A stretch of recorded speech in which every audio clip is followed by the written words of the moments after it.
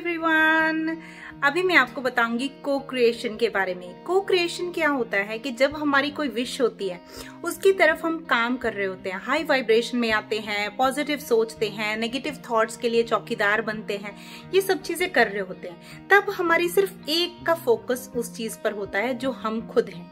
लेकिन को क्रिएशन का मतलब ये होता है कि जब हमसे ज़्यादा लोग उसी विश की तरफ़, उसी बात की तरफ़ फोकस करने लग जाए, उसमें अपनी पॉजिटिव एनर्जी दें। तो यगन की आहुति भी ऐसी ही होती है। अगर आपने ग्रुप मेडिटेशन देखा है, वो भी ऐसा ही होता है। सब लोग शांति की तरफ़ जाने के लिए को क्रिएशन करते हैं, इकट्ठे बैठते हैं और ग्रुप मेडिटेशन करते हैं। ग्रुप चैंटिंग में भी यही होता है। कहते हैं ना, सत्संग, जो बहुत सारे लोग अच्छी अच्छी बातें करते हैं तो भी यही होता है। तो एग्जैक्टली सेम चीज़ आज हम करेंगे हमारे दो beautiful human beings magical human beings के लिए, जिनका है आज बर्थडे ठीक है? तो मैं उनका तो मैं अभी उनका ऑडियो प्ले कर रही हूँ आगे।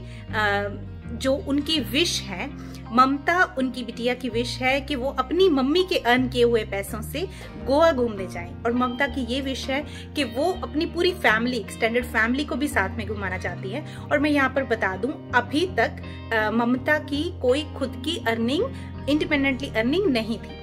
ठीक है? लेकिन अब को क्रिएशन के बाद होगी। इतनी होगी कि वो अपनी बिटिया को और अपनी पूरी फैमिली को घुमा पाएगी। और फिर ऑडियो है सुजाता का। और सुजाता किसी गवर्नमेंट एग्ज़ाम के लिए प्रिपेयर कर रही हैं उनकी विश है कि वो अधिकारी की पोस्ट पे अच्छी टॉप पोजीशन पे जिस भी एग्ज़ाम के लिए वो प्रिपेयर कर रही हैं वो पहुँच गई हैं। तो हम सबने ऑडियो सुनना है बहुत प्रेम से उनको विशेष देनी है और कॉमेंट बॉक्स में क्या बोलना है डिक्लेयर करना है उनके लिए। Wow wow wow congratulation Mamata आपकी और बिटिया एंजल को आ, कि आपने गोवा का ट्रिप मैनिफेस्ट कर लिया और वो भी अपनी अर्निंग से और साथ ही इतने सारे पैसे मैनिफेस्ट कर लिए शॉपिंग करने के लिए वाओ वाओ वाओ। और ये सब कुछ इतनी जल्दी हो गया विद इन थ्री मंथ्स हो गया, वाओ। और ऐसे ही सुजाता के लिए हमने एग्जैक्टली सेम एनर्जी देनी है कमेंट बॉक्स में। और वो है, वाओ वाओ वाओ, सुजाता, आप तो अधिकारी सुजाता बन गई हो। वाओ, इतनी जल्दी आपने एकदम फ़र्स्ट अटेम्प्ट पे एग्ज़ाम और सारे इंटरव्यू सब कुछ क्लियर कर लिया। और अपनी मनचाही पोस्ट पाली। वाओ वाओ वाओ, हमें तो पार्टी चाहिए पार्टी और जब ये दोनों चीज़ें हमारी मैनिफेस्टेशन ऑब्वियसली कंप्लीट होने वाली है और फिर हम दोनों को बुलाएँगे पार्टी लेने के लिए तो पक्का उनसे हम पार्टी लेंगे। तो ठीक है वंडरनारी फैमिली आई होप आपको समझ आ गया हो, बहुत प्यार से, जितना प्यार आपको वंडरनारी के लिए है, जितना प्यार वंडरनारी को आपके लिए है, उतना ही प्यार हमें ममता, एंजल और सुजाता को दिखाना है। तो आ जाओ फिर कॉमेंट बॉक्स में, छा जाओ, पहले ऑडियो सुन लो, ठीक है? Thank you so much thank you so much thank you so much Arshdeep ma'am and thank you so much आपकी इतनी सारी प्यारी प्यारी विशेज़ के लिए इतनी सुबह सुबह ये याद रखने के लिए कि आज मेरी प्यारी बेटी एंजल का बर्थडे है और इतने सारे प्यारे प्यारे मैसेजेस विशेज़ भेजने के लिए thank you so much I appreciate you and I love you and wish की अगर बात करूँ तो मेरे बच्चे को आ, मैं उसी की विश आपको बताना चाहूँगी कि वो गोवा घूमना चाहती है।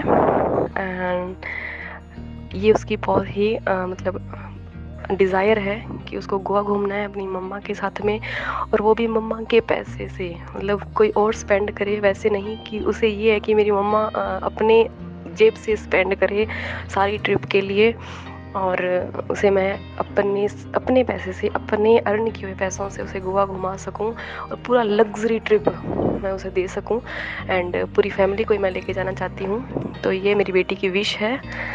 एंड अगर आपको सही लगे तो thank you thank you thank you thank you so much दी आपने मेरे जन्मदिन को सच में स्पेशल बना दिया।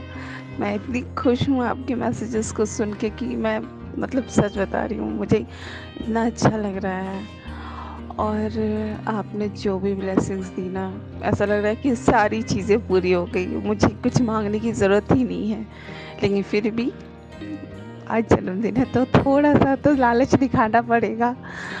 और मुझे बस ये कि मैं ना एक करियर के रिगार्डिंग चाहती हूँ। अपने करियर को थोड़ा सा और ज़्यादा मतलब फ़िलहाल तो मैं अभी कुछ नहीं करती, मैं स्टडी करती हूँ।